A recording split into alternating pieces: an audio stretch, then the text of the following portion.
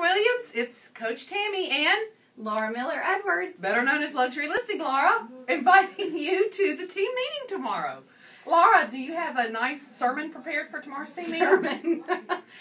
Yes, we're going to talk about short sales and all the changes. Oh, that sounds exciting. Do you have any fun facts to share about short sales and all the changes? Um, no, you're going to have to wait and come to meeting tomorrow and find out. Boy, that's a great teaser. I know that they are dying to hear all about short sales. You're not going to believe how much it's changed. At all. It's going to change your life. Oh my gosh. Got to be there.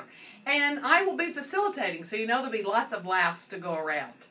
Anything else? Anything else you'd like to share, Laura? We can't wait to see you at team meeting tomorrow. Be there, be square. Bye-bye. Bye. really change your life? Tell you that. Oh, start over. I did mess that one up. Sorry, don't roll your eyes. Good. Okay. Hi. Ah, it's Laura. the heck is going on over here? You're here? on our Sorry. blooper reel. All right. We, we're making.